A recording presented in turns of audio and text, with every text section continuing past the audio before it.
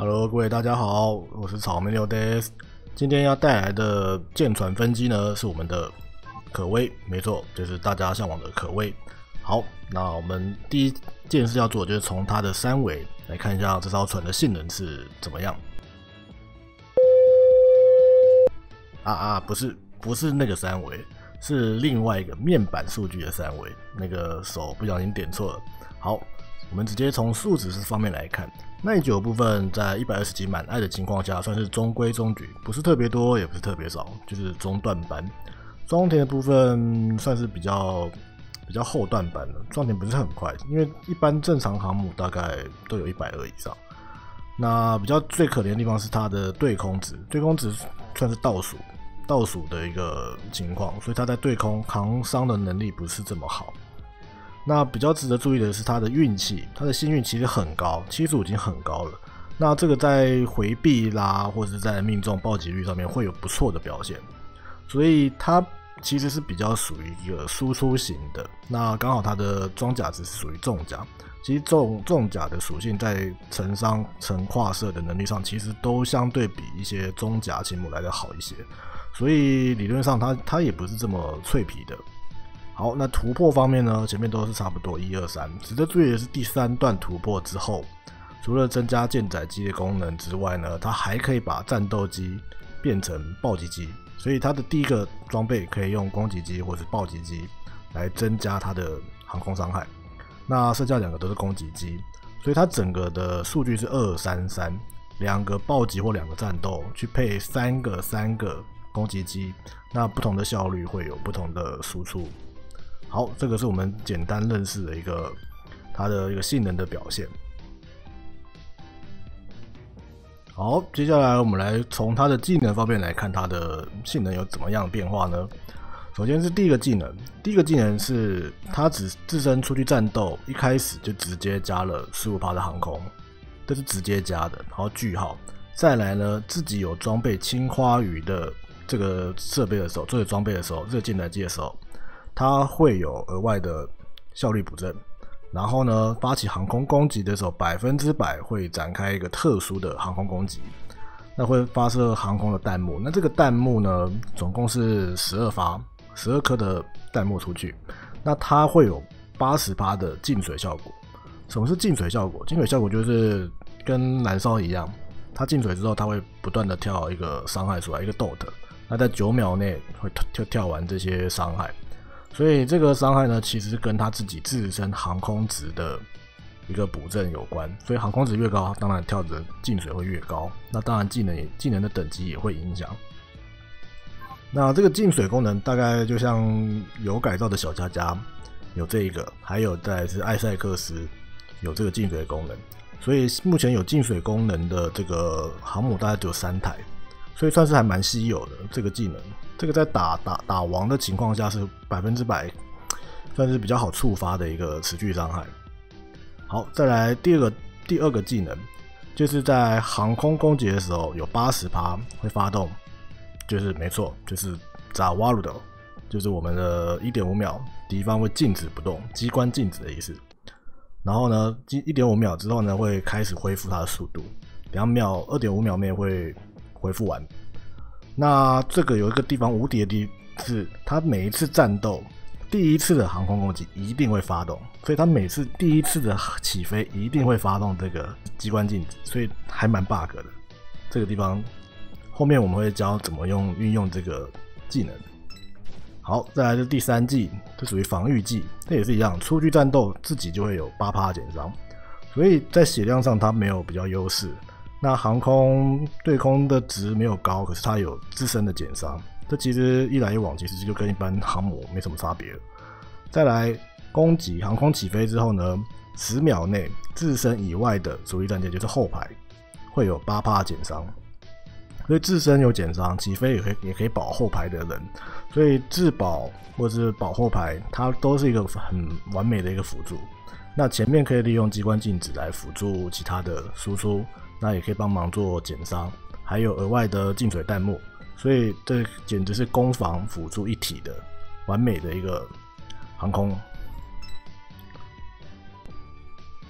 好，接着来我们这个装备的一个配置来看。首先是舰载机的部分，舰载机刚刚说过了，满破之后你可以选择一般的舰载机，或者是挑我们的暴击机来做使用，看你的输出或是你的调速方面有没有什么需求。那一般来说都是用使用我们的那个攻击机、战斗机会比较好了，因为战斗机起飞比较快，它装填其实没有很快。再来攻击机有两个，那刚刚也说，只要装备一台青花鱼，它就会有弹幕，所以这个青花鱼要装哪里？要装在第三格。因为刚刚我们看到第三格的补正其实只有一百二十五帕，那如果你装在第二格一百三十五帕的话，其实青花鱼就没有有效的输出了。我们可以把它装在比较弱的输出，为什么呢？因为其实青花鱼本身它自己的航弹没有那么高，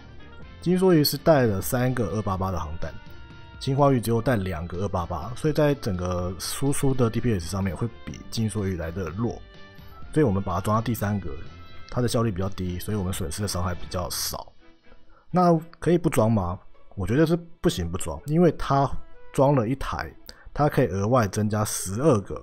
航弹，这个航弹呢也是二八八的航弹，所以我们失去了一一台金梭鱼，可是我们补出来的。那个弹幕伤害却远远高过于这个金梭鱼所带来的一个航空伤害，所以一个青花鱼根本不用怕说会损失多少伤害，反而会增加你很多的伤害。所以不要不要说一定要用梭鱼了，用青花鱼才是最大的伤害来源，而且还会有进水的一个 debuff 在，所以一定务必要装备一个进化鱼在第三格。那如果还有其他的方法，就是。在打道中可以用梭鱼，那打王的方可以利用它的机关镜子装备一个流星，其实流星就是直接对王输出，所以它在补一个航空燃油增加航速的情况下，它可以实现自己直接用流星命中他想要命中的目标，这个是非常 bug 的一一个存在，所以很多会跑会动的王在他面前就是一个木桩，这非常的残忍。那也可以配合很多不同的组合，打出一整套完美的伤害。可以配合方舟，可以配合任何可以减速的一个单位，比如说君主的弹幕，或者是约克的弹幕，他们都可以造成减速。那可以启动更多有效的一个命中伤害。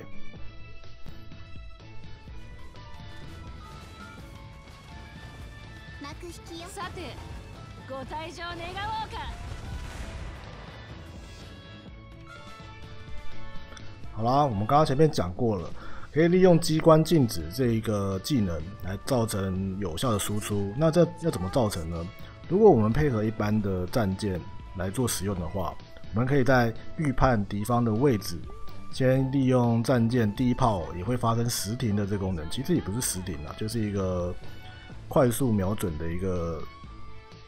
短短暂的时间差。第一炮打出去，它一定会命中目标。命中目标，马上我们就按下飞机，按下起飞。那第一第一次的起飞一定会造成机关静止，那后面就看几率，其实八十八也是蛮蛮高的啦。那如果有配合方舟，那也可以造成它减速效果，恢复的不会这么快。所以第一炮瞄准之后，马上接的直接打出可威的机关静止，可以造成最有效的全弹命中。这个输出是一次爆发可以带走，配合海妈的这个。增伤技能是非常可怕的。那前面这个驱逐可以轻松的解决之后，那后面的的一些，比如说重巡王，或是一些战舰王啊、航母王，基本上都可以照这个准则去做一个输出。比如说像十二之士的鸟海，我们一样也是利用了一个机关镜子，然后两个人重叠的情况下，一口气把输出全部砸在他们身上，配合海妈的伤害，可以一波直接带走。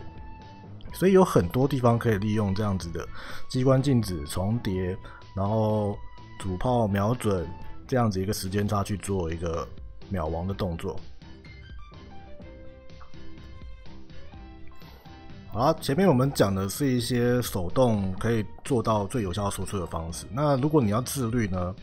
那正常来说，一套配下来，正常可微的起飞，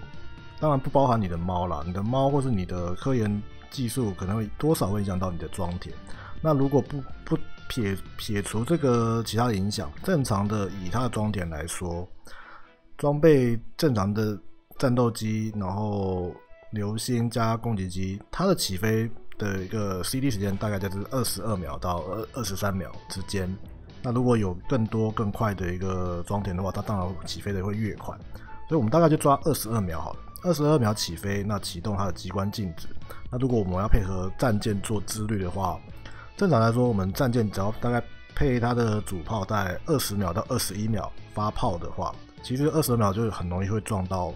这个我们可威的一个技能。所以尽量正常来说，主炮要搭的话，大概就是四一零。或是我们的四零六，这个主炮，这两个主炮大概都是在二十秒到二十一秒之间。然后，当然我们调速可以多去尝试啊。如果不够快，再来调整一下我们这个可威的一个飞机状态。那如果不需要的话，可能也可以加一个信标来增加它的那个 CD 的一个装填时间，所以有效去跟我们的大炮做一个巧妙的连接。